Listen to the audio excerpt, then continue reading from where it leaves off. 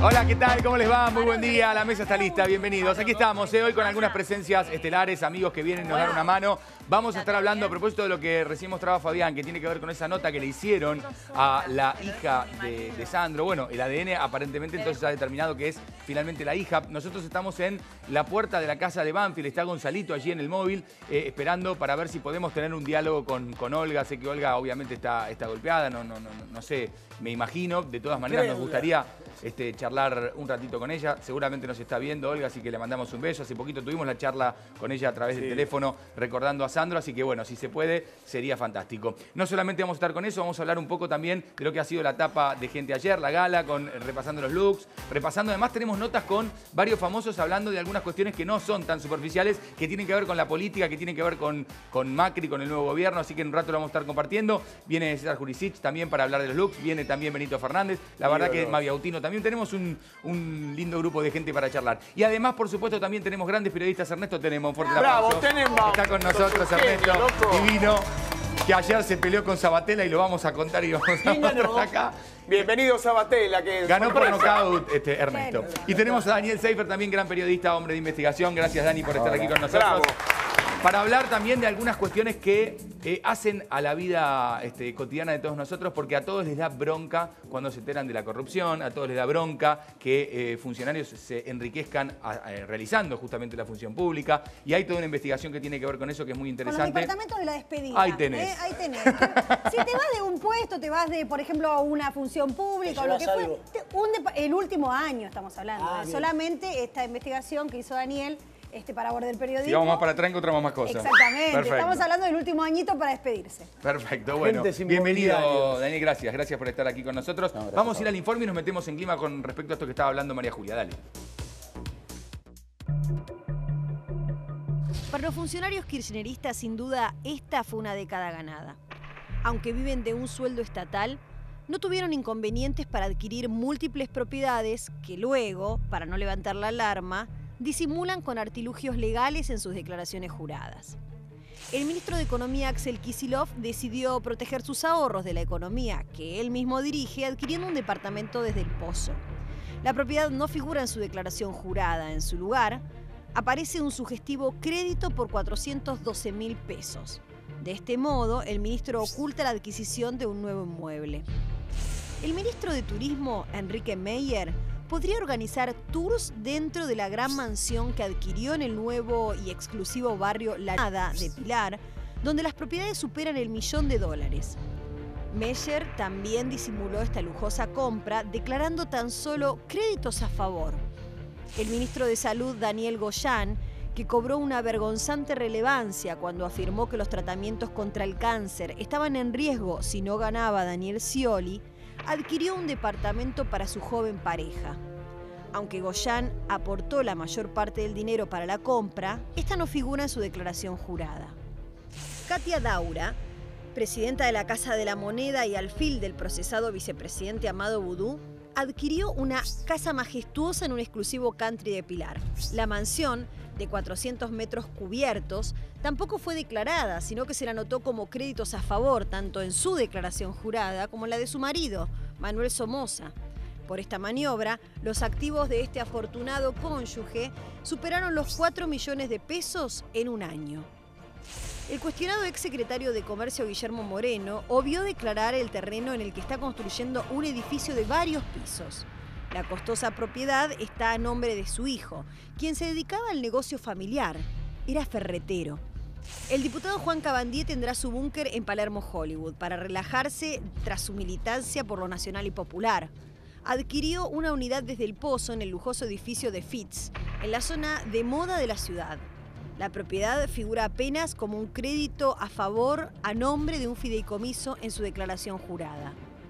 Mientras que para la mayor parte de los argentinos acceder a una casa propia es un sueño imposible, los funcionarios del gobierno saliente lo logran una y otra vez. La salida del poder los encuentra con numerosas propiedades en las que refugiarse. Bueno, estos son algunos de los casos entonces de, de esta Del último año, ¿no? Del Del último último año, año. exacto. Qué poder de ahorro, ¿no? No, claro, lo que pasa es que eh, no son los casos más escandalosos porque obviamente la fortuna de Cristina Kirchner y Máximo Kirchner van a la cabeza. Después, no sé, Daniel, hay otros que están en el podio, ¿no? Pero estamos hablando solamente de las propiedades adquiridas en el último año de estos 12 años de kirchnerismo y de lo que obviamente a cualquier argentino común le cuesta tanto comprar y sobre todo eh, cómo lo declaran, ¿no? Porque el ministro de Economía ponga créditos a favor para poder declarar un fideicomiso en el que él estuvo invirtiendo sus ahorros, también es curioso, ¿no? Porque debería ser el más eh, limpio de todos, el que mejor lo, declare en su declaración jurada, ¿no? Sí, bueno, la, la clave eh, es eso, ¿no? ¿Por qué no declaran que compraron una casa? Justamente quizá para evitarle el titular la noticia de que compraste una mansión en Pilar o, lo que sea que sea el bien.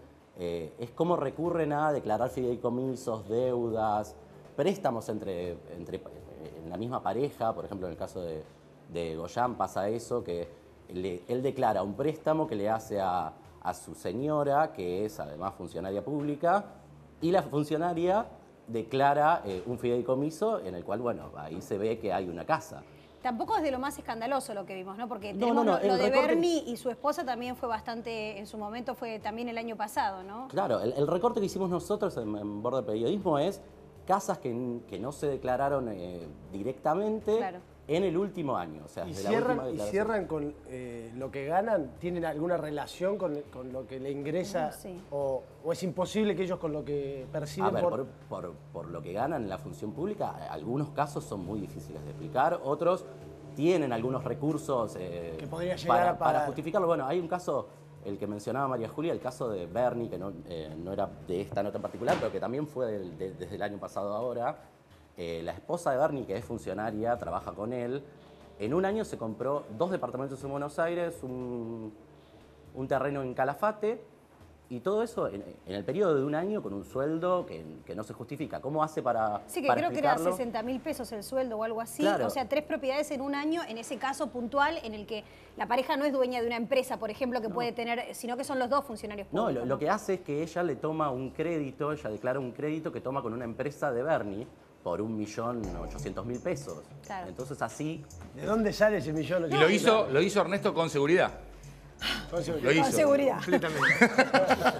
No, yo estaba mirando y pensaba en el gobierno que entra y lo importante que es no solo serlo, sino también parecerlo. Claro. Es decir, Claro. es muy importante. Nosotros venimos ya de dos gestiones en las cuales la corrupción fue un tema como central en, en- en la discusión pública. Ves muchos funcionarios que tienen fortuna, para empezar los presidentes, desde Menem hasta acá.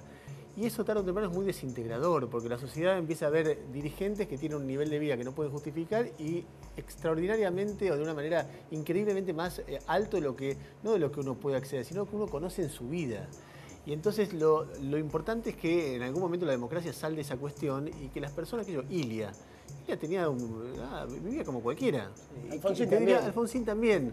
Ahora, de ahí para acá este, son todos tipos, pero además vos pasás, pasás de presidente a ministro, intendente, y no importa el, el- el- El rango. no importa el partido político, no importa, eh, ves, qué hay ejemplos, digo, Carrió es un ejemplo de, de- que no le han contado, no le han encontrado nada de, y, seguramente hay varios ejemplos, pero me parece que uno de los desafíos fuertes para el gobierno que entra es tratar de cambiar esa costumbre que termina además siendo muy dañina para la sociedad y, para los mismos Y gobiernos. Ernesto, ¿no? ¿cómo se hace con estos eh, dirigentes salientes, con estos, eh, estas adquisiciones? Porque María Julia Sogaray en su momento Pero pagó. no están denunciadas estas Ninguno cosas, está ¿no? denunciado, ninguno No, va me parece que, ¿Al- depende el me parece que va a depender el caso. Me parece que algunos, algunos van a estar más complicados que otros. Los primeros que van a estar complicados del gobierno que sale son los que están involucrados en la tragedia de Once, porque no, no es directamente corrupción personal, pero es haber avalado, permitido, siendo, sido cómplice de un sistema de vaciamiento que era evidente que terminaba en algo en muertes.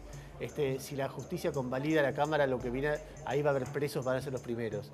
Después el segundo caso muy delicado es el de Vudú.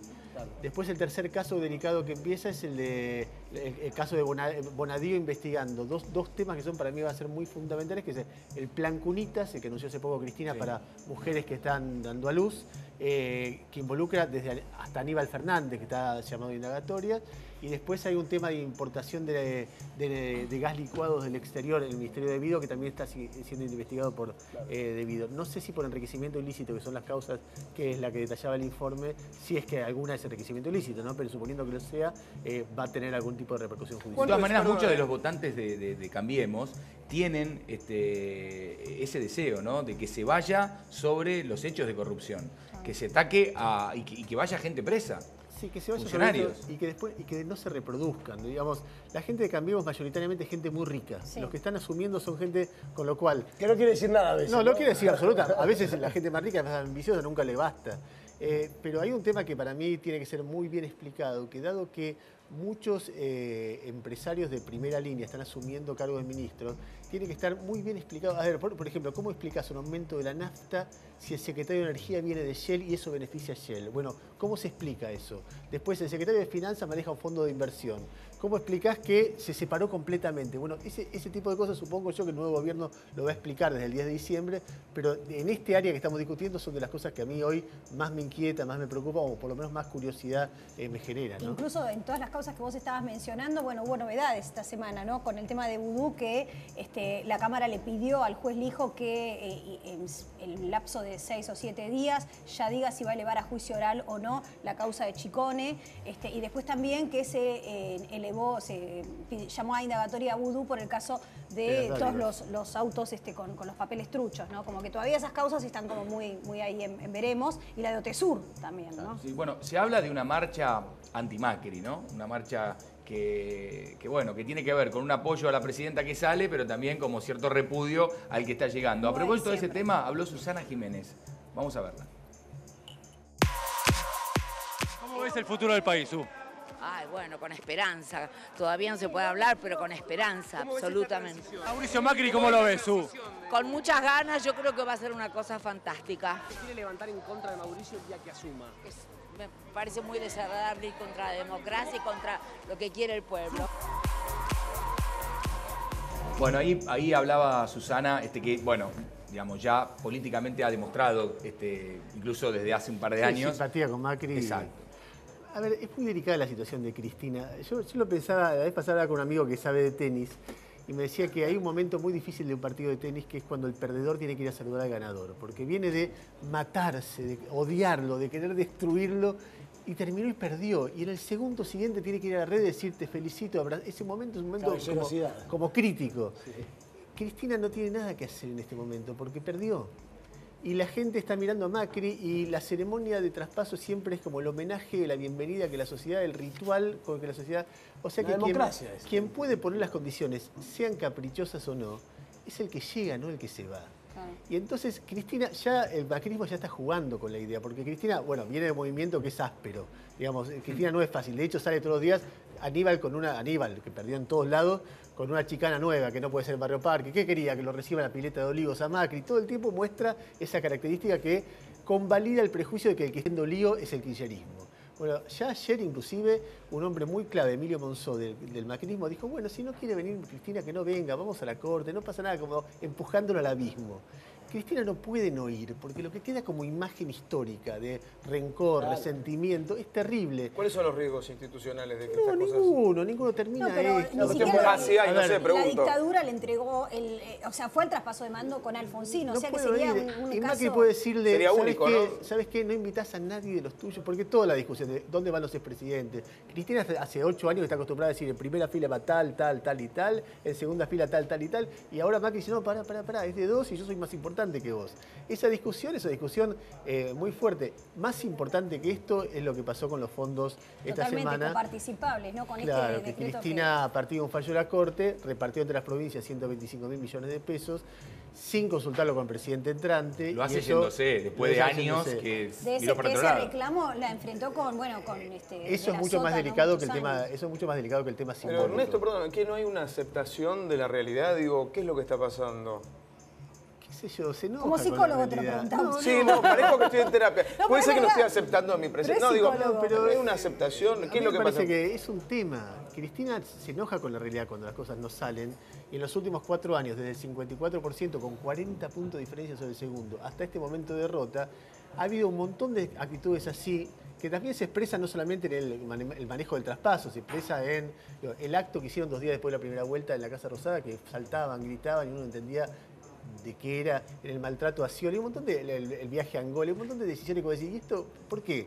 Bueno, hay características personales que le permitieron ser quien es, ser tan importante, y en un momento dejaron de servirle, y ella insiste por ese lado. Grito, me enojo, presiono, llamo a mis militantes a que me despidan el día que llega el otro. eh, que es ¿Cuál la- es el objetivo? Digo, por eso digo, por ahí no hay respuesta. en pero términos racionales, yo creo que es muy perjudicial para ella. No, no- no hay nada que beneficie más Eso, a Macri. ¿quién pierde ella? Si, si Macri tiene 30.000 tipos derrotados, puteándolo el día que asume, va a decir, pero miren lo que son. Ahora, desde adentro se ve que no se dan cuenta con eso. ¿Cómo? Me- agredieron y no voy a ceder. No, no, no negociar así es, es ceder. Bueno, ya está, perdiste. Terminó y el partido de tenis. Andá y fea- saludá porque todo lo demás es tirar la raqueta contra el Es piso. que y quedarse pareciera que to- hay toda una clase dirigente que obviamente tiene su representatividad, porque estamos hablando de la segunda este, fuerza más importante del país, que no quisiera que le vaya bien al próximo presidente. O sea, que nos vaya bien a todos los argentinos en la próxima gestión, ¿no? Por todas las últimas medidas que no benefician a, a esa, a esa gestión. Eso, eso también es, es curioso y no hace quedar bien al espacio, por supuesto, me parece a mí. Tenemos a Enrique Pinti analizándole el momento político. Vamos a verlo y escucharlo. ¿Cómo lo ves al país? ¿Crees que es una época difícil? Siempre fue una época difícil, siempre pasa lo mismo. La pesada herencia recibida para los primeros dos años. El tercer año, después, ¿qué vamos a hacer? El cuarto año se va todo al carajo. Es eh, siempre igual, pero yo no es que sea pesimista ni nada, lo he visto. Si te digo Daniel Scioli, También hubiera sido, mirá, eh, son todos hijos de Menem. Ahora no lo conocen a Menem, dicen que yo no, bueno, fui, fue, fue mi mentor, pero lo superé. te digo Cristina Fernández de Kirchner, Y nada, fue una mujer muy autoritaria. Para mi gusto, muy autoritaria. A la gente le agarró un hartazgo. El modo, la manera, la cadena, ¿viste? Era una cosa que ya los huevos por el piso. No, como de costumbre, va a haber palos en la rueda, siempre pasa lo mismo. ¿cómo crees que esto va a ser el traspaso? ¿Que esto cesa? ¿Que esto se termina? ¿Que va a haber más equivocaciones? Todo termina. No, no, no, eso es imposible. Todo termina. Quedan los artistas. Sí, sí, sí, quedan los artistas. Bueno, che, lo quiero sumar, está Tombolini también, este, nuestro amigo Tombo. Todo aumenta, Tombo. Todo. Todo. Basta.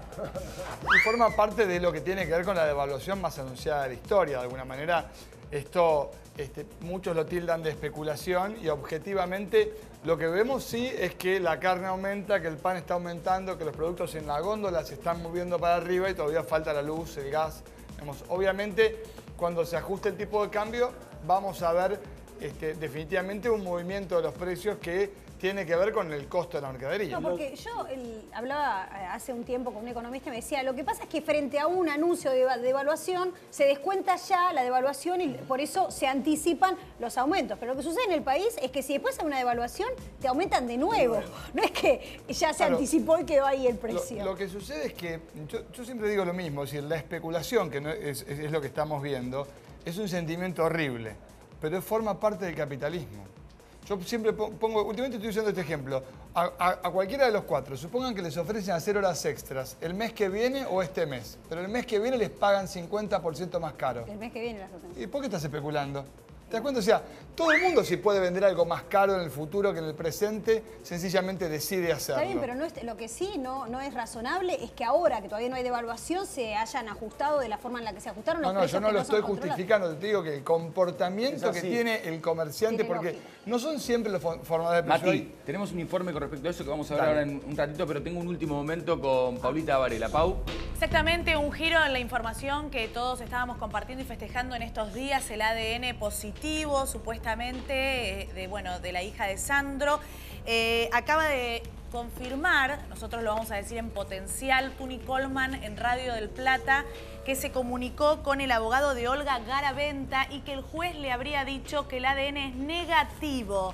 Reiteramos, el ADN es negativo de la hija de Sandro, así lo confirmó el periodista Tuni Coleman hace minutos nada más en Radio El Plata.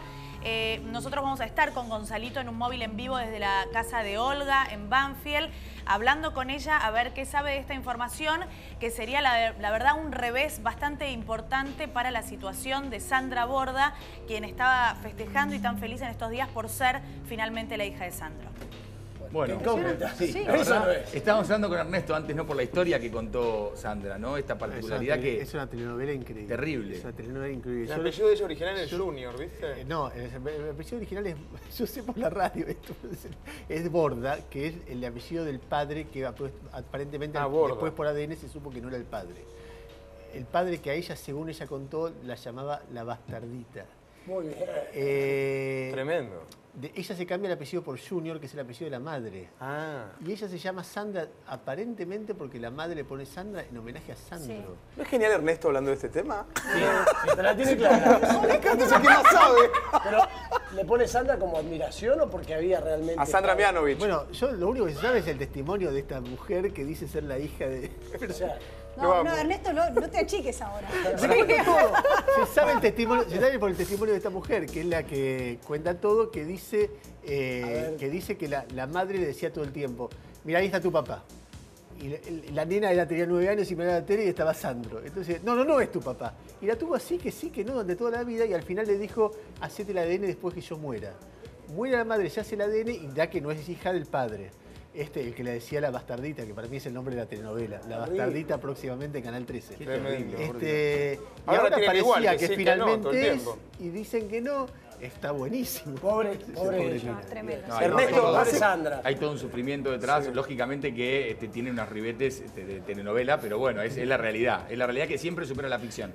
Eh, nos volvemos a meter con el tema de los precios y tenemos un informe para seguir charlando aquí en el piso. Vamos a verlo. La mesa está lista, salió para saber cuál es el estado real de los precios en un barrio típico de la capital federal. Hablamos con la gente también, míralo en esta nota. ¿Cómo siente los precios? Se nota que han remarcado Muy caro todo. Y ahora último aumentaron más. La carne, imposible. entre un 15, 20, 25% en el- sobre todo en los productos de alimentación. ¿Siente un cambio, un impacto, un incremento en los precios? Y sí, sí. ¿Cuánto lo siente? Y semana por medio. ¿Qué estás llevando? ¿Podemos ver qué llevas? Papa, rúcula, huevos, unos cherries, unas frutillas. ¿Cuánto gastaste? Eh, 110. No, no, hoy compré una gaseosa y fiambres nada más. No, únicamente. ¿Cuánto gastó? 90, y- 91 pesos.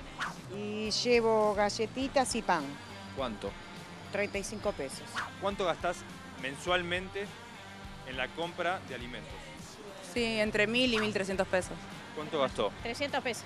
¿Llega al fin de semana que viene con esto que compró? No. ¿Va a tener que volver a comprar? Sí, sí, sí, en la semana seguro. ¿Te parece conveniente comprar por día, por semana o mensualmente? Anda buscando las promociones y compré cuando hay promociones. Algunas cosas estoqueas, otras cosas son para el día. Que hoy la carne vale 60 pesos el kilo de media red. Y yo hace dos semanas lo estaba pagando 48 pesos, ¿me entendés? Hay una diferencia importante. ¿Cuánto tenés el kilo de lomo? Y hoy 200 pesos. ¿Cuánto tenés el kilo de milanesa de ternera? Y la más barata 100 pesos y la nalga 140 y 120 la cuadrada. El cremoso lo tenemos en 63 pesos el kilo. ¿Y en el supermercado? Un 75 Me parece que es un abuso, principalmente para lo- nosotros que trabajamos. ¿Crees que va a seguir subiendo? Sí.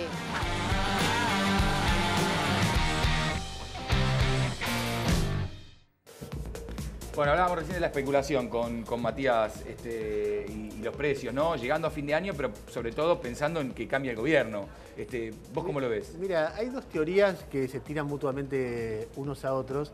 El gobierno saliente dice esto es culpa del anuncio de la devaluación que hace Macri antes de asumir y eso genera que los empresarios se cubran, imaginen un costo de reposición de lo que tienen y entonces empiezan a venderlo no a lo que le costó ahora, sino a lo que, imaginan que va a costar. El gobierno saliente, entrante, naturalmente dice, espera, espera, espera, todo esto no pasaría si la economía argentina no fuera un desbarajuste. Esto pasa, la devaluación se anuncia porque tenés un retraso cambiario, porque faltan dólares, porque hay un problema eh, muy serio que tenemos que resolver. Entonces se echa la culpa. Ahora, después está el tipo que directamente remarca, porque ni Macri ni Cristina son los que remarcan. Hay empresarios que dicen, bueno, me cubro y siempre se cubre, la verdad que uno tiene esa experiencia. Eh, en última instancia, esto es un problema básicamente para Macri. No importa cuál sea el diagnóstico, quién tenga la culpa. Macri hoy es juzgado, eh, hoy no es juzgado, hoy, hoy es el que representa la esperanza de un cambio, etc. En tres meses es juzgado por si logró evitar despidos y aumentos de precios, que son las otras cosas. Ayer cerró una empresa muy importante, Paraná Metal, de Cristóbal López y despidió 130 personas. El caso de Cresta Roja está dando vuelta. Entonces, hay dos desafíos inmediatos que tiene Macri respecto de política económica y todavía no ha dado señales muy claras que parecidas a las que daba el gobierno saliente. Bueno, uno hay un despido, me consulta, pues si no va a haber castigo. Hay aumento de precio, discutimos. Digamos, en momentos de tembladeral, no como política permanente, pero en momentos de tembladeral, la autoridad del Poder Ejecutivo define mucho. Y hay que ver qué hace Macri respecto al tema, ¿no? Sí, eso es, eso es interesante, sobre todo porque em, marca Ernesto un tema de carácter transicional. Lo cierto es que el problema de fondo en la Argentina es la inflación. Entonces, lo que está claro es que vos cuando querés resolver el problema de la inflación, no lo vas a resolver con un Estado poniendo multas o controlando los precios, porque no funcionó nunca. En general, desde el lado del consumidor, lo que vemos cuando te sube el precio del pan es pónganle una multa al panadero. Pero hay más de 20.000 panaderías en la Argentina que están en un grupo de chat todos juntos poniéndose de acuerdo. No. El problema de fondo es la inflación. Entonces, el Estado puede intentar articular los medios, por ejemplo, vía precios cuidados, para que vos tengas algunos productos que no se vayan del rango y cuidar por ese lado el bolsillo. Es cierto, y lo van a hacer. Precios Cuidados va a continuar aproximadamente 12 meses, eh, 6 meses más y ahora 12 va a seguir como una manera de financiar el consumo. Además viene diciembre, que es un mes que estacionalmente los precios suelen dispararse junto con enero y con marzo. Ahora, el principal desafío yo creo que, que tiene Macri por delante es efectivamente controlar la inflación, porque no se resuelve esto con un ministro diciendo el tomate tiene que costar tanto, la lechuga tanto y este, la boligoma para la escuela tanto, sino que tiene que generar las condiciones para que esos productos no suban de precio. Como pasaba en la Argentina en 2004 y en 2005 De cualquier manera, hay señales de autoridad que en momentos de descontrol tienen que darse, porque si no, después al viva la pepa y cualquier, cualquiera hace cualquier cosa. Este, y me parece que es uno de los grandes desafíos. Y otro desafío, ojo con diciembre, porque diciembre es un mes que se disparan los precios, es un mes muy sensible, y es un mes donde socialmente suele haber despelote. Entonces, si el gobierno entrante entra sin controlar todo, puede haber un diciembre eh, caliente y es muy importante que tenga una estrategia para eso. Bueno, ahí está Este, precios cuidados absolutamente, eh, por eso es muy importante, pero también cómo coordinen con el sector privado, que tiene que hacer un esfuerzo en diciembre justamente tratando de trabajar con los sectores más, más complicados, por ejemplo, entregando bolsones de comida como pasó en diciembre del año pasado. Tiempo, tiempo, tiempo. Muchachos, ya está listo. Gracias, Bueno. Topolini. Eh, Bueno, tiempo. Ya tenemos un conductor, Eh, Bonelli. eh, eh, rápidamente, el precio cuidado no solamente está afectando al, al bolsillo de los argentinos. Eh, Ernesto tiene más una opinión sobre los precios. Eh, mira, Marcelo, la verdad tengo una información de último momento que habría caído un avión. Aparentemente habría chocado con el precio de los alquileres. Bueno, perfecto, Ernesto. Después la seguimos, Gracias. muchachos. La Eh, joda, Ernesto, ¿viste? Sigue la joda. No, Bueno, el verdadero, ¿no? Es impresionante, el verdadero y el, y el trucho. Bueno, gracias al verdadero, gracias Ernesto. ¿eh? Muchas gracias. Gracias, de verdad. Gracias. Y gracias a Dani y a, y a Mati, como siempre, por, por estar aquí con nosotros. Vamos a cambiar de tema, nos vamos a meter en lo que fue la gala de gente ayer, los personajes del año. Tenemos para analizar los looks y está Paulita Varela con grandes invitados. Exactamente, un poquito de glamour en la mañana, porque mirá los invitados que tenemos. Por favor, aplausos para Mavi Autino, Benito Fernández, Zeta Jurisic, avisados de la moda de nuestro país, la tienen clarísima. Bueno, y Estelita Hola, mi amor. Y mira, adopté la ratita que tiene Jurisis, divina. Hola, Te qué queda tan linda, linda. Estela, te Divina, ¿no había perro cuando fuiste a comprar? Hermosa. Empezamos a analizar la moda, si les parece, porque el ojo de ustedes es el que quiere saber toda la gente qué opina. Eh, Marcela Klosterboer, la primera otra embarazada, ¿eh, Marcela? A ver qué eligió para esta gala de 50 años de Revista Gente. Mírala. ¿Qué Es dicen? Era una túnica verde, cotembé, bordada en el escote. Se la veía radiante. La verdad que el, el color le quedaba divino. Y, y la verdad que las chicas cuando están embarazadas se las ve siempre re lindas. ¿El escote en vez es una cosa política? No. No. No, ahora yo pregunto, ¿por qué el zapato negro? Es fuerte la com- ¿no? Sí, es como que choca, ¿no? Aparte es como un zapato, está bien, por- como está embarazada puede ser que sea como bastante más cómodo. Pero hace juego con los aros, por ahí habría que ver las plata, uñas también si no las que, tenía que haría juego con las alhajas y con el bordado. Yo creo que le, le quiso imprimir algo de, de rockera, de, de salirse un poco de- del prototipo de la mujer más formal, ¿no? Siempre que- está, siempre está impecable. Sí, pero el no. pelo les gusta. A A mí No me es como encanta. que- Una señora, ¿no? Como que... Está muy pinky, ¿no? Vos callate con esos pelos. Callate, vos ridículo. Por favor, Estelita, son nuestras invitadas. ¿Qué van a saber de moda estos? Por favor, me vuelvo loca. La verdad es que está como muy sobria. ¿No, no donde estás despejó. transpirada, Estelita, con ese vestido? ¿Qué? No puedo más, no, acá adentro es como un aire frío-calor. El pelo. Ay, no, el pelo de La boa. Como embarazada la bancamos. Sí, Yo estoy embarazada. ¿Qué piensa estar así? Yo, yo también me pongo esto porque tengo 15 meses de embarazo, La Pulisic. Túnica, la túnica es divina. A vos te quedaría soñar. Color Divina. te quedaría divino. Escote. Decile la A verdad. vos te quedaría bien algo que te cubra bien la cara. Sí, una, una careta veneciana me vendría bien. Bueno, tenemos a Una Mirta, ¿eh? Ay. una máscara. A Mirta Legrand, mirá. Mirá Mirta, qué divina. A ver, a ver. ¿Qué dicen? Eh, era como un dorado. La verdad que se. A ver, es Mirta, es los vestidos que estamos acostumbrados a ver en ella. ¿Por qué decís Está- es Mirta? Y porque es Mirta, el encaje, las mangas largas, el, eh, esos colores pasteles. ¿Quién la viste a que- Mirta? No sé quién era el vestido. Esto La puede ser Gabriel Las o Claudio Rosano. Su asesor de vestuario es Vidal Rivas, Sí. que Sí. siempre la viste y es él quien elige a Qué diferentes. Ahora, diseñadores es para poder vestir. Impecable. Sí. impecable Yo quiero tener toda, la edad de ella y ser así, porque ¿entendés? está siempre ¿Y impecable el maquillaje? y se toma el tiempo para... El maquillaje siempre está divina. Eh, a ella le gusta mucho maquillaje, la favorece, eh, la rejuvenece también. Ah, mira. Eh, Qué salmón eso, ¿no? y, y Sí, yo sí. creo que es un referente para toda mujer. Sí. eh, la femeneidad y la coquetería de, de Mirta habría que... Un chimentito de Mirta, dicen que estaba, estaba Charlie García, que estaba, bueno, por su condición estaba en silla de ruedas y demás. Dicen que la corría con la silla por todo el No, salón. nunca a Mirta. entendimos, sí. Quería estar todo el tiempo sentado al, al lado de Mirta. Sí, nunca Tenía se como una entendió. obsesión. Nunca se entendió eso. Ah, ¿vos sí, también yo lo estuve, viste? yo estuve con mi hijo, con Lucas, y la verdad que eso no se entendió. Sí, lo seguía para todos lados. La perseguía. Es muy lindo. Tenemos a Susana también para ver este, el look A ver. de, blanco, Susana Jiménez. Ahí está. radiante. Ay, qué divina. Ay, Es Panza al aire, qué, jugado, ¿no? sí. Jugado el blanco, ¿no? No, el blanco sí, No, la panza al aire. La panza al aire. Ese pedacito estaba velado porque es un tul. ¿Qué murió como velado? Velado se le llama estelita cuando hay un género que cubre la piel, que parece que está desnuda la piel. Ah, no está desnuda no. ahí. Ahí, hay, ahí hay tela que contiene eh, es- ese recorte está bien. que tiene. ¿Por qué cuando los vestidos son tan largos se ponen zapatos las mujeres? Si no se le ve los pies, ponen enojota con medias, ¿o no? No. Qué horrible. No, Tiene como todo en su lugar, Susana. Está muy bien de figura, está ¿no? Está como muy todo bien. paradito, Está impecable, todo. está impecable. Hermoso. Se cortó el pelo, tiene un tonito, viste, en las puntas como más oscurito. Sí. Maquillaje también, Mavi, ¿qué opinas Aparte vos? vestirte Es, de blanco. es el make-up de Susana De de, Susana, ¿no? Ese ojo toda la negro, vida, con- los ojos con intensos, mucha la boca un poquito profundidad. más grande, en tonos natural. Nada de Hay ¿está bien clientas que te piden, perdóname, hay clientas que te piden el maquillaje de, de- o de Mirta, puntualmente, o te dicen quiero el ojo de Susana. Eh, hay otras figuras que son más referentes para el tipo de, maquillaje. Ellas están como siempre igual. Por ahí hay un- noto mucho más cambio en Mirta, que juega más con los colores.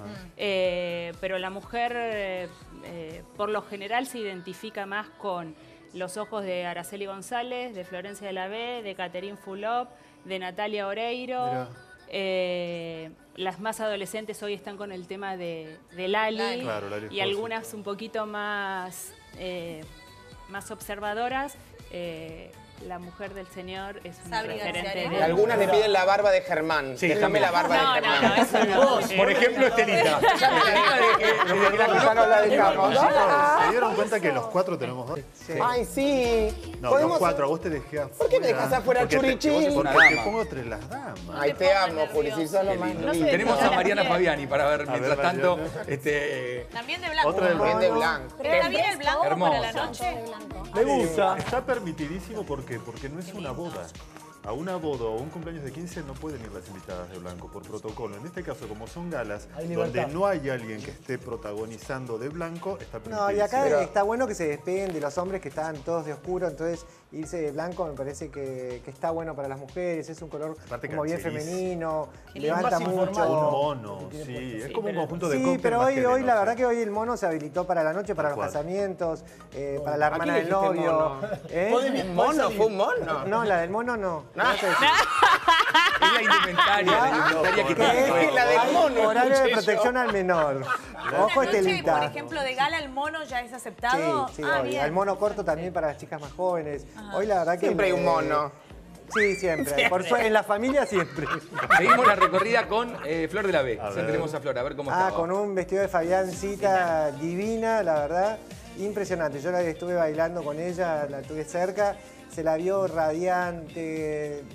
Te digo que hacía mucho que no la veía tan linda a Flor y, y tan contenta. La verdad que eh, bailamos con Palito Ortega al lado de Charlie García. Una Mira fiesta increíble. cintura, ¿No les es parece? raro. ¿Qué, qué, qué es? Eh, Fabiancita, ¿no? Es. Fabiancita, sí. Es como un eh, cuero. polizón encima, como plisado, una organza plisada con un cinturón con Es un cuero. cinturete, ¿no? Como Sí, si fuera un sí, arnés. sí. Y de ahí están en los plisados. ¿No lo ven como un poquitín invernal?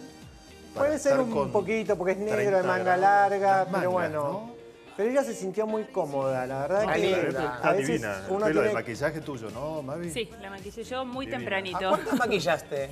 No, solo a ella, porque ella sola. Ara nunca llegó, pobrecita, pues estaba grabando, así que trabajé ¿Estaba tranquila. mejor, digamos. Flor, después de la crisis? Yo la noté Súper. mucho Nada mejor. más. Está pasando por un, por, por un muy buen momento personal de ella. Ah, bien. Está muy feliz con los chicos. Eh, yo había quedado con ella por una cuestión de horarios, maquillarla súper temprano. Murió y- el papá de él estos días. Sí, Sí, el el, suegro fin de ella. Y ella estaba en la plaza haciendo picnic con los chicos. Ay, qué Entonces le digo, estoy en la puerta de tu casa. Y se vino corriendo, así con la canasta.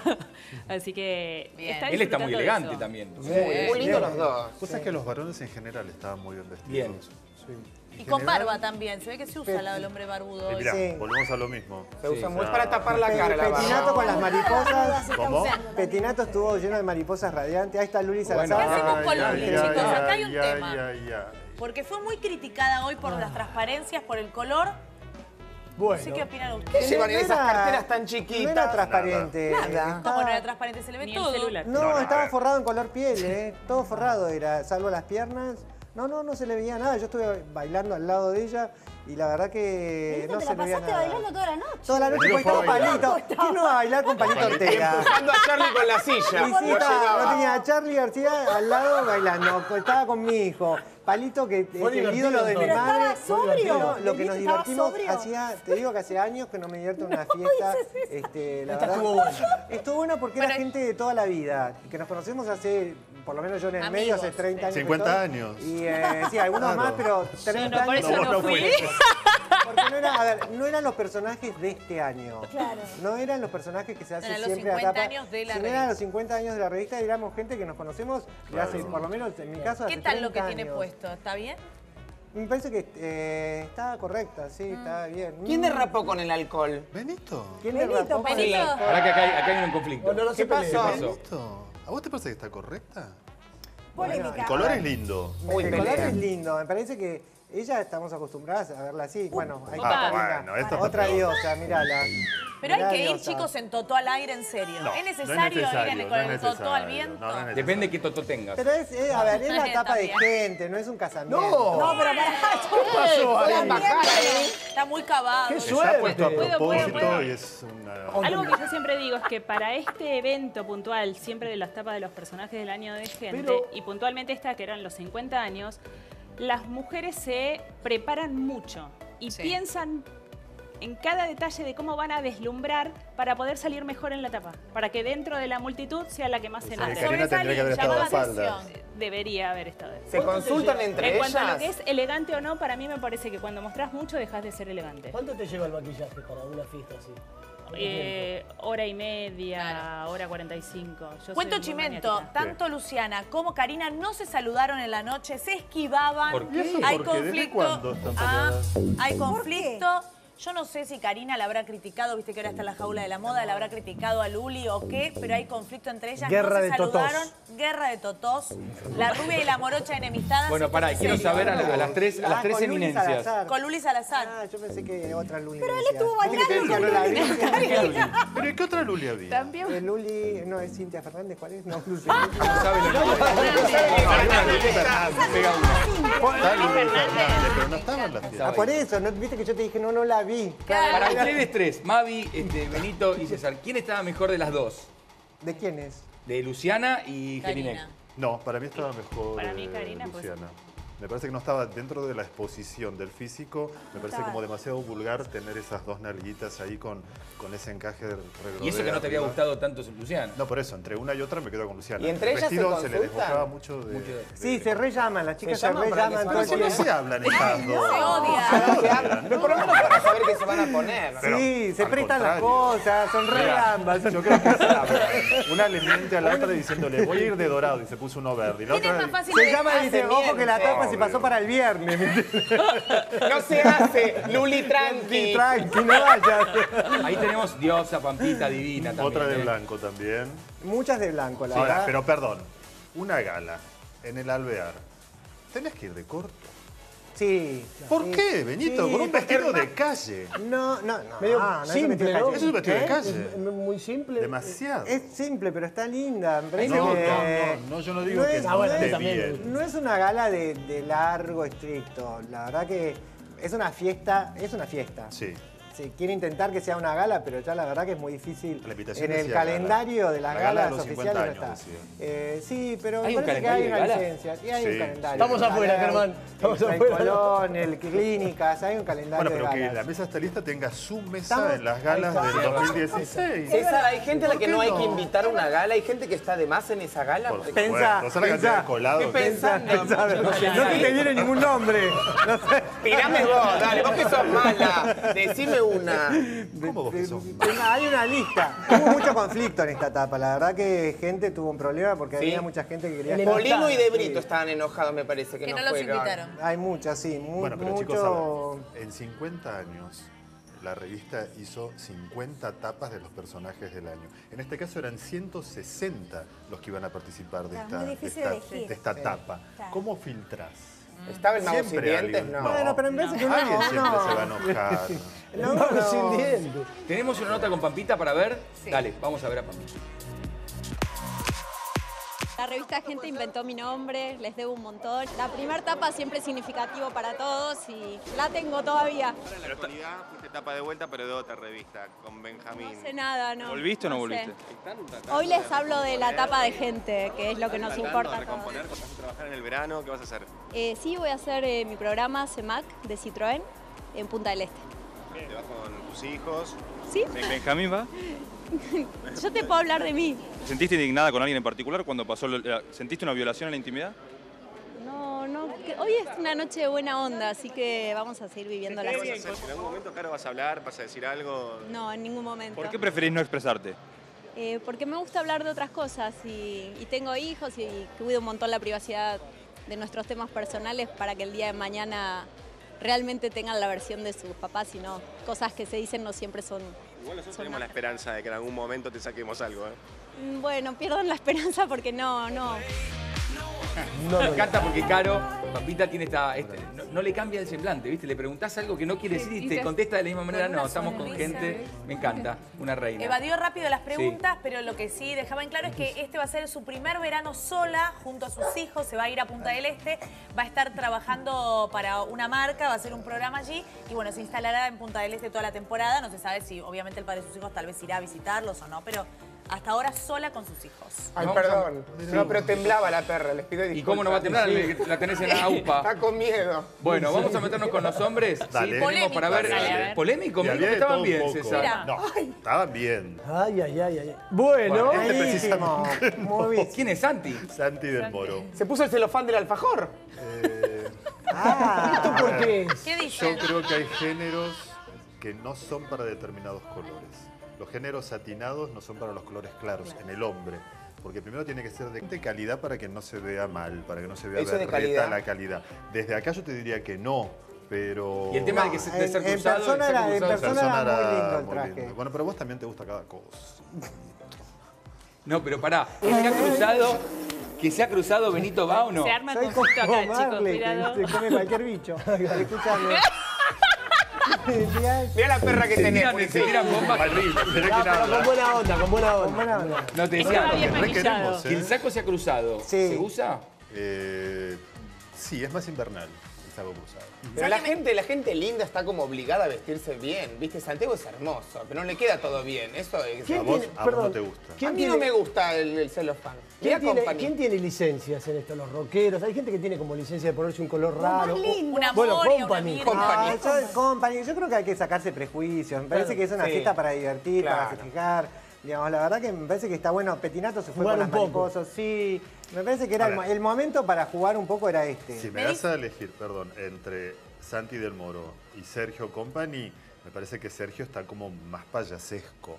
Quieren Y hacer show los dos, me parece, ¿no? Está bien, obviamente la idea es que hoy estemos hablando de ellos. Es Pero mató un leopardo. esto. Me dicen que los hombres fueron los más preocupados que consultaron el dress code, o sea, cómo No deberían todos. ir, eh, y más preocupados por la estética este año. Lo que yo te decía, el hombre hoy en día se preocupa mucho más y se asesora y busca información y pide que, que determinado color Pero o César les determinado preocupa el después de ustedes, me parece, a los hombres. Les molesta que Es que después hay los, un antes los y un critiquen. después en la moda en Argentina a partir de los programas justamente Claro. donde No, y aparte, venimos a criticar. La realidad que eh, empe- los hombres, seamos sinceros, empezaron a ver que después de estos eventos las mujeres ganaban un protagonismo que ellos no ganaban. Y parece que está bueno que también se muestren desde otro lugar, este, como en este caso estamos mostrando, por ejemplo, ahora en el programa. Marley está divino con ese saco, la verdad que se lo vio radiante. Ahora, es el, el negro y el, y el dorado es el predominante entre los hombres y el blanco, el beige, es, es, es así. Sí, en las mujeres. Es así la temporada. Sí, había verde, mucho verde en las Sí, también había Colorado, porque justamente la, la revista Gente, Sí. entonces también muchas fueron de Colorado, pero ves, pero el dorado también se usó en el hombre. Este saco es Ay, la quinta vez que lo veo en diferentes hombres. Ay, ¿qué ¿Y es te una gusta? crítica? No es dorado, es como, de como cuenta. bronce. Es cobrizo. Cobrizo, No, me sorprendí porque no lo había visto. Pero es el mismo este saco que se presta. Se lo puso, sí. Se lo van O sea, prestando. a ver, Sí. no el mismo porque el talle de Muscari no es el mismo que el de Sergio Company y no es lo mismo que el bailarín de esta nena de Lourdes Sánchez. ¿Cómo se llama el bailarín, el actor? No. Ferdente. Ferlente, que se lo puso también. O sea, Muy jugados igual los hombres. No sé, vos Germán, ¿cuál te divertido. puesto entonces? No, a mí el que me gustó fue el de Pablo Bengochea, que estaba con un smoking clásico. Clásico, Claro. Hubiese. Y Marley Sí. muy lindo clásico. también, El saco de Marley es muy, Sí, muy lindo. Tal vez no me gustaba con esa camisa, pero... Muy ajustado el pantalón, Marley. Pero Flavio Mendoza. ¿cómo fue? Ajá. Polémico también. Ah, Flavio siempre está Bueno, impecable. Me gusta, me gusta. Impecable. Es- Me gusta. ¿ves? Eso es impecable, justamente. Pero puede ser toda la parte de arriba blanco y abajo negro, la ignorancia. Le dijeron que era, le dijeron buen bozo y agarró la bandeja. Si te Sí. pones, si te pones el traje Son dos blanco, tostados, un spray.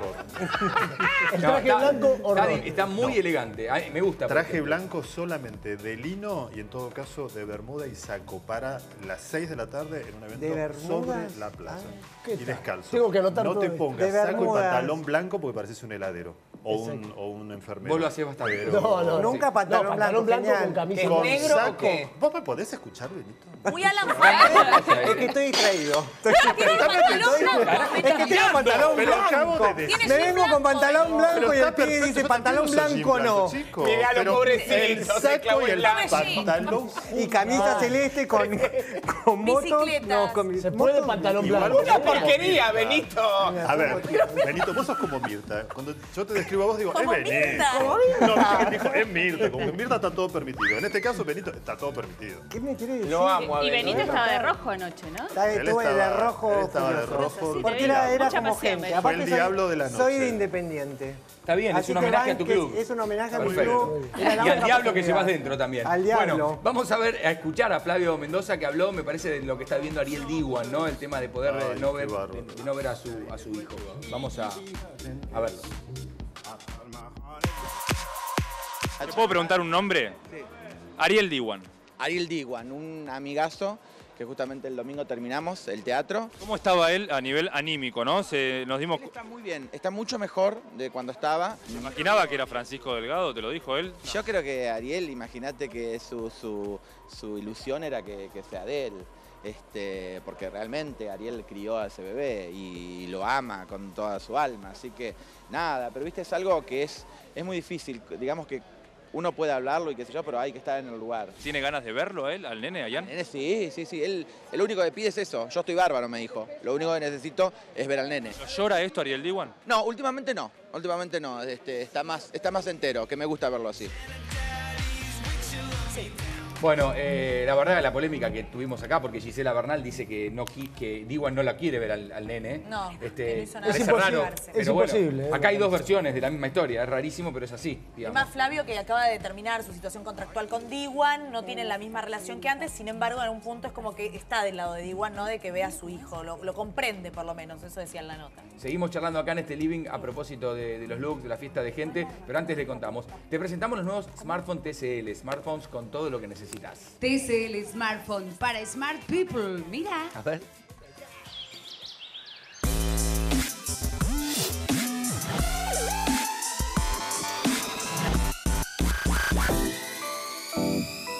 Nuevo smartphone TCL. TCL, smartphones para smart people. ¿Necesitas enviarle dinero a alguien que Sí. está en otra provincia u otra ciudad? Hacelo en pago fácil. Podés enviar dinero en minutos a quien vos quieras, a cualquier parte del país. Acordate, Germán, en Pago Fácil podés enviar dinero a todo el país de la manera más rápida y segura. Mira. La contabilidad de un estudiante del interior tiene la seriedad de un desarmadero. Hijo, yo te voy a mandar la plata, tranquilo, te quiero, contás conmigo, te va a llegar enseguida. Ahora, ya que estás estudiando para contador, ¿por qué no me contás en qué gastás la plata que te mando por pago fácil? Le digo recién hace, ¿sabes qué pasa? Se me caen las plumas. Me dice, ojo, ojo que así se empieza. Así se empieza, mi amor. Y después seguís con la perra. Después tal cual, después el chihuahua. Estoy con el chihuahuita acá. Y después vas a elegir otro traje un poco más brillante. Más jugado, más jugado, Vamos, exactamente. Dejo lo clásico. Bueno, eh, la tenemos a Lali también. Lali Sí. divina, Lali, ¿no? Divina siempre. ¿eh? Siempre, a ver. Siempre. Mírala. Ya estaba Era divino ¿no? ese peto que parecía como un ¿Ese esfinge. Peto. Peto. Peto se le llama con collar, un collar muy grande. Ah. Es un peto. ¿No Hubo- chica más ahí un tema con Lali en la tapa.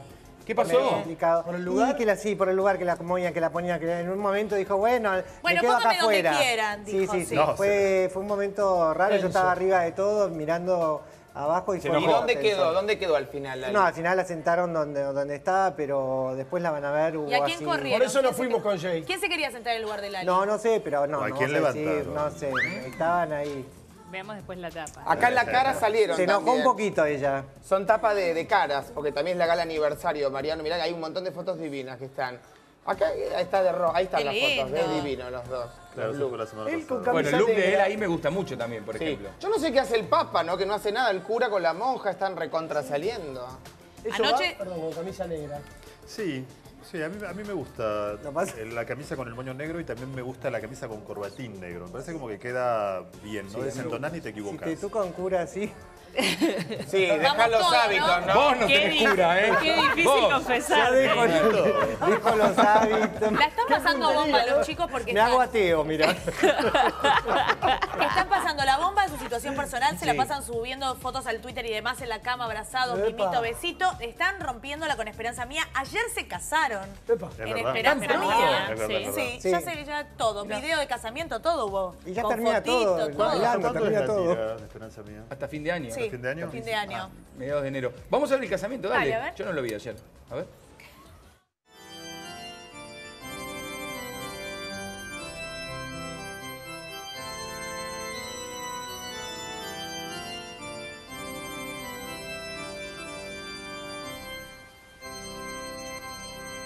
Estamos hoy aquí, todos, para participar de la unión de Tomás y Esperanza. Como religioso, les doy mi bendición. Y como hombre, les entrego mi amistad.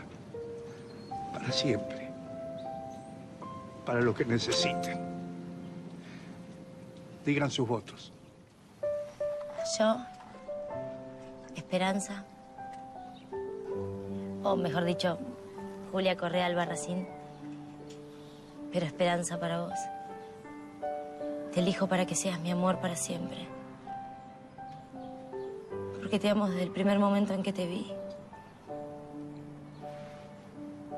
Porque pienso en vos, mundo. Desde que me levanto hasta que me acuesto. Y todo en el medio. Porque cada vez que te vas quiero que vuelvas. Porque quiero ser tu mujer. Tuya. Siempre. Hasta que sea viejita. Te amo para siempre, mi amor.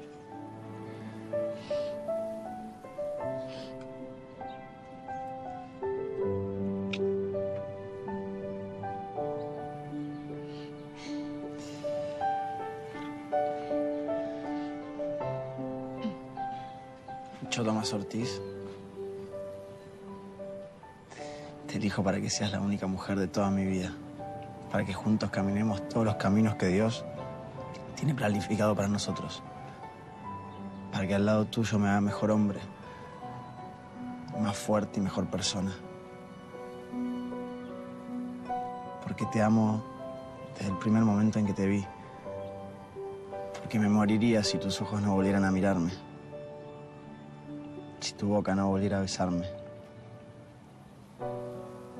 Porque Dios te hizo para mí. Mucho, Esperanza. Y jamás podría dejar de amarte.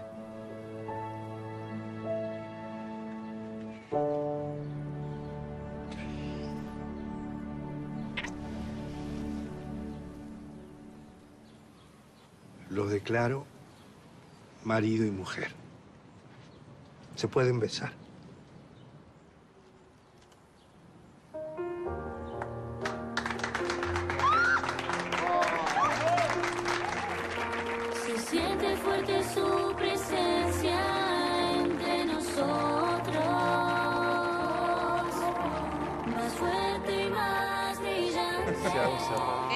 Y aquí estamos divinos, la verdad, ¿eh? y además ¿Qué son pasa? divinos los dos. Los en la mesa de noticias, qué divino. Alberto Fernández de Rosa.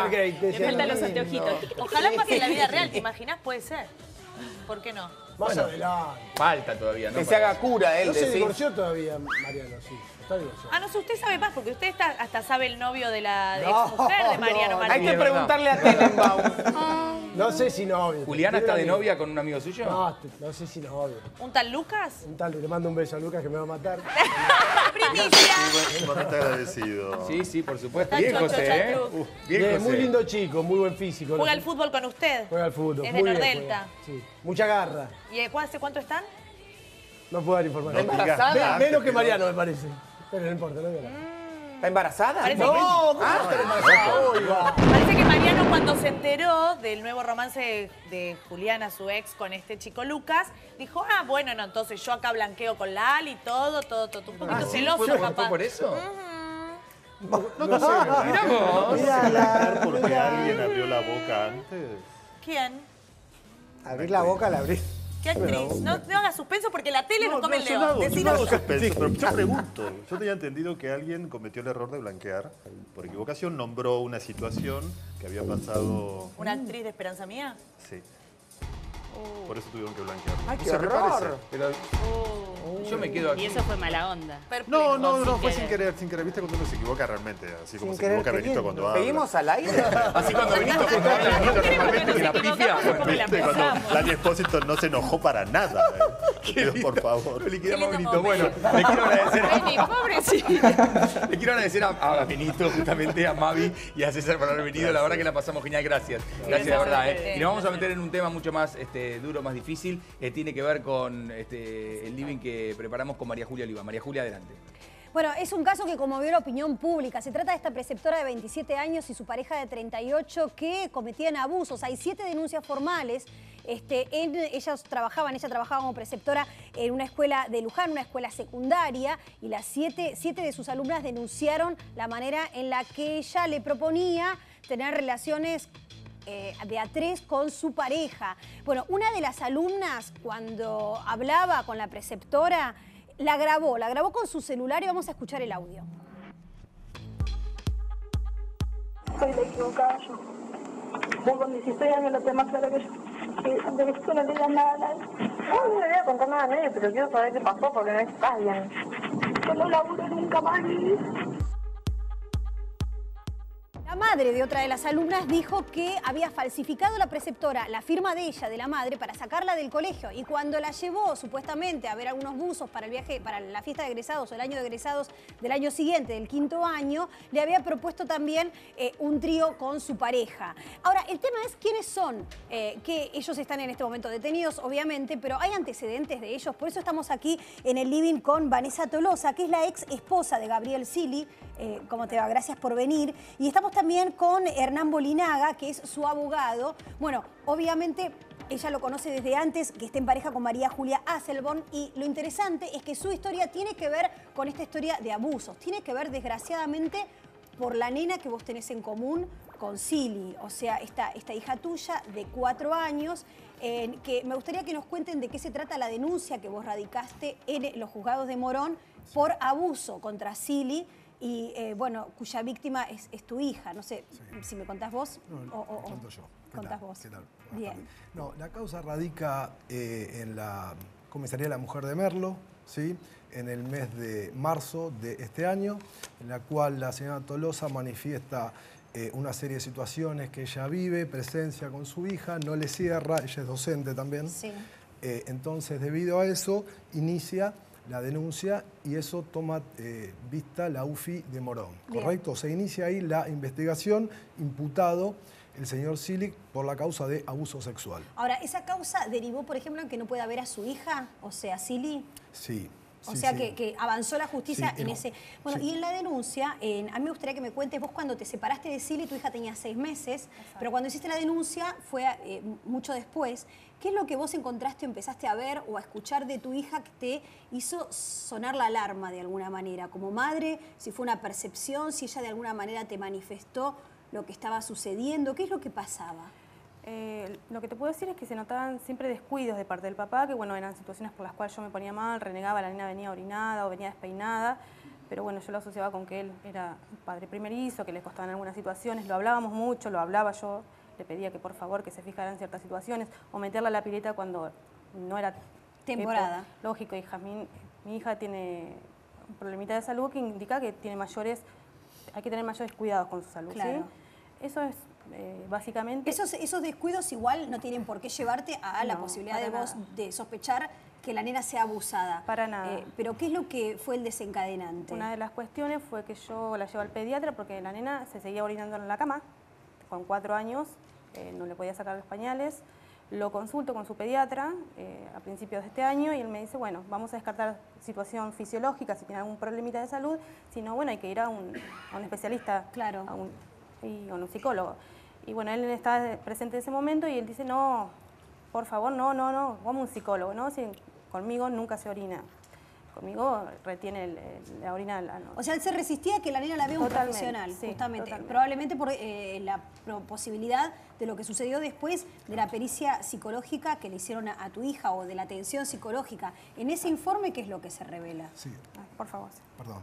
Eh, acá, acá lo que tenemos que tener presente es que la nena eh, le manifiesta a la madre una serie de cuestiones en las cuales no se puede revelar, Bien. porque está todo en el expediente, porque acá está en juego una menor y vamos siempre a preservarla. Ahora, eh, Vanessa, Sí. entonces, ¿a vos no te sorprendió esta denuncia? No. ¿No te sorprendió para nada Para cuando la escuchaste? Hace ocho meses que vengo sufriendo por esto. Ujú. Imagínate que no me ¿Y él sorprendió. qué, qué actitud tiene con vos después de esta denuncia?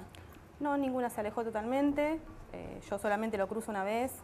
Eh, en una escuela lo cruzo y un ataque de Bien. desesperación porque yo hasta entonces yo ya hasta había hablado con varios especialistas, profesionales que me habían dicho... O sea que la justicia, después de la denuncia, les estuvo dando la razón este, y, y por eso vos estás, y la justicia está protegiendo a tu hija, él no puede verla, está esa causa avanzando y con toda esta otra situación, que es otro juzgado este, que está tomando el caso en el que ellos dos están detenidos por el abuso de estos que son adolescentes y que eh, iban al colegio este, donde trabajaba María Julia y Sili.